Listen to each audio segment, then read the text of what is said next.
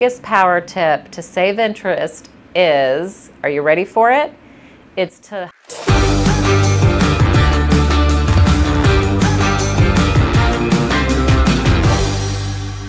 Do you want to pay less on your mortgage? Here are some tips how you can do just that. Whether you're a current homeowner looking to save interest or you're a new, soon to be homeowner, I've got some tips for you. I'm Jen, I've been loan officer for lots of years, real facts, no BS here on the channel. Also, make sure I hear your comments. I want to hear what you think and have your questions about how you can save more money. So let's talk first about if you're a current homeowner. If you're in a home you can definitely always pay extra to principal to lower your overall interest rate. You can pay money every month, little by little, and it really melts away that interest. Now, when you make an extra payment, it goes to the end of the loan, meaning that it's going to shorten the duration. If you pay on average around a full payment extra once per year, which means let's say your monthly payment with principal and interest is $1,200. If you divide that by 12, that's $100. So essentially, if you pay $100 extra a month, you could cut as much as eight to nine years off of your loan. So let's not discount these small incremental changes over time. You could also make a payment large chunks at a time. You can definitely do that. So what this will do is it'll minimize and really reduce your overall interest because you're accelerating your payments. So let me hear more questions down below. If you have a specific question about that, I want to hear from you. So now we're going to talk to people that are currently looking for a home. A lot of people ask me too whether they own a home now or they're about to get into a new home. Hey Jen, can I do bi-weekly payments? Yes, you can. I've got a couple words of caution. I personally actually did that maybe two mortgages ago uh, beware that there's a charge for that. So on biweekly payments, the way that it works is it's a third party company that is actually going to charge you a small fee every time they take money out. So this third party company is going to take out every two weeks, they're going to take out half of your mortgage payment. So if you do that every two weeks, there's 26 every two week payments throughout the year, which is going to equate to one extra payment per year. Now, in essence, this will turn a 30 year loan into like a 22 or 21 year loan, which is amazing.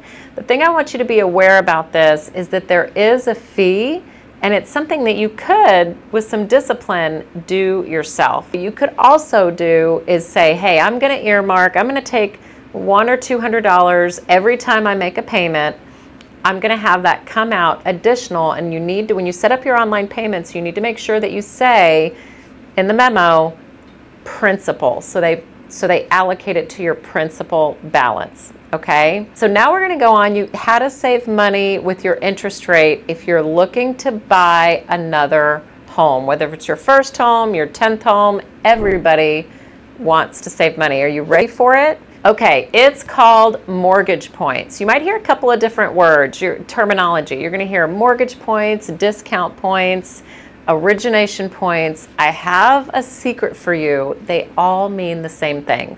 So no matter how you slice it, points are upfront fees paid at closing. It's basically paying interest ahead of time. Let's give you an example of how that works. So I'm just going to pretend right now that you have a $400,000 loan, that that's your loan amount. One point, which is 1% of the loan amount, would be $4,000. Now points don't have to be even. It doesn't go one, two, three. It can be something off like 1.25%.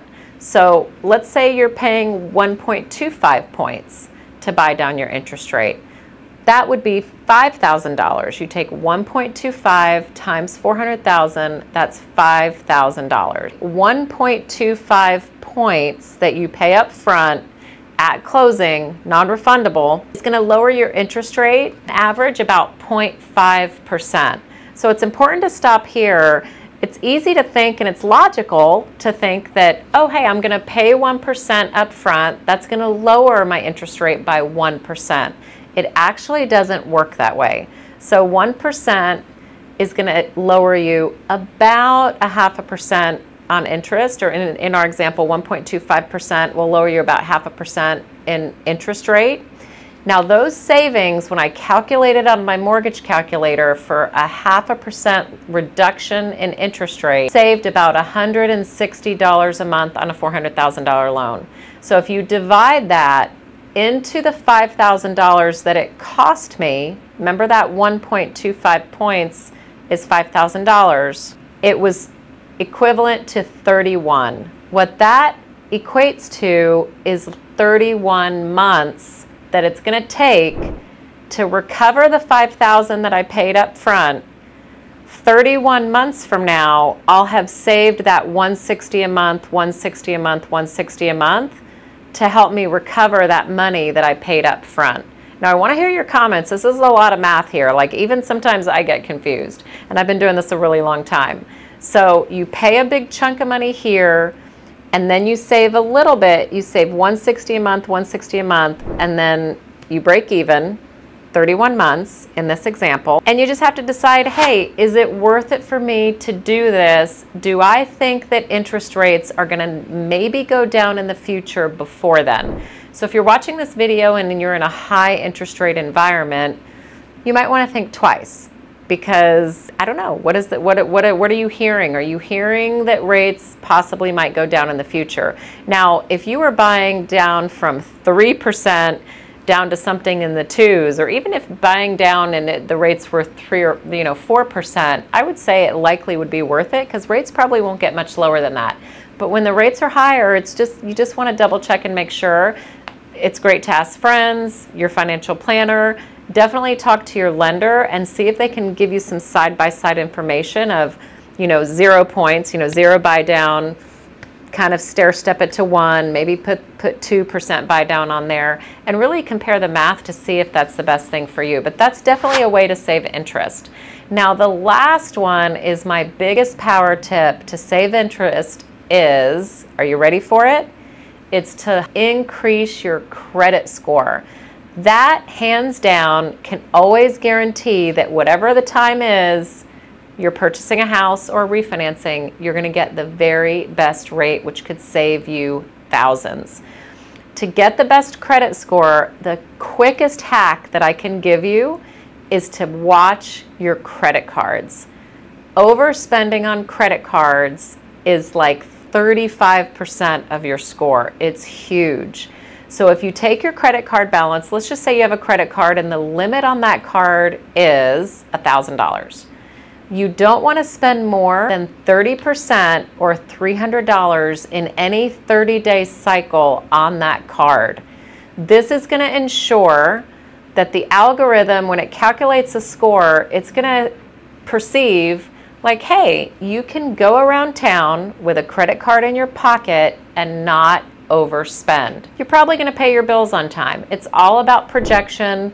It's all about historical data that data shows that people that overspend and they're maxed out on their credit cards have a harder time paying their bills on time. So the likelihood that you're going to pay your mortgage late is higher if you're maxed out on your credit cards. The other thing is you want to have just two to three credit cards like as a maximum. Now there's a big myth out there that people ask me all the time, hey Jen, I heard that if you close your credit cards, that's actually a bad thing. Well, it used to be that. I, I, have to admit, yeah, maybe like 10, 15 years ago when credit scoring was first coming out, but now it's super sophisticated that two to three cards is really enough to show how you pay bills. When you have more than that, you have the ability to be maxed out and in debt overnight. Let's say you lost your job. You'd go put everything possibly on credit cards to survive and pay your bills. Then you might get behind and not be able to pay your mortgage. So that's the thought process behind that. I also want to hear your questions about credit. That's a really big area of concern, of course, for a lot of people. Let me hear your comments. Now, you want to watch this next video about the quickest way. I go a little bit more into detail about exactly how to get that credit score up. Thanks for tuning in. Talk to you soon.